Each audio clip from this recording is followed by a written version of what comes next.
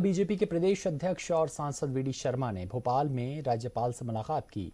राजभवन में वीडी शर्मा ने इसे सौजन्य भेंट बताया।